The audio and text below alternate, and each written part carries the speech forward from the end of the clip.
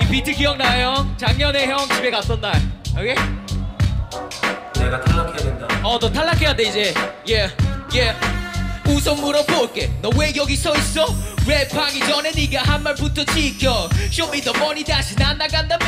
다른 길을 걸어가는 저를 지켜봐달라며. The 그래 내가 해명해볼게. 너는 쿠시 형이랑 계약을 하고 싶었네. 근데 너가 X밥인 게 들통나서 못하죠. 이 신 다들 알지? 예, 병 새끼. 서주고 다시 하면 돼. 내가 하면 돼 어 여긴 없지. 서주고 yeah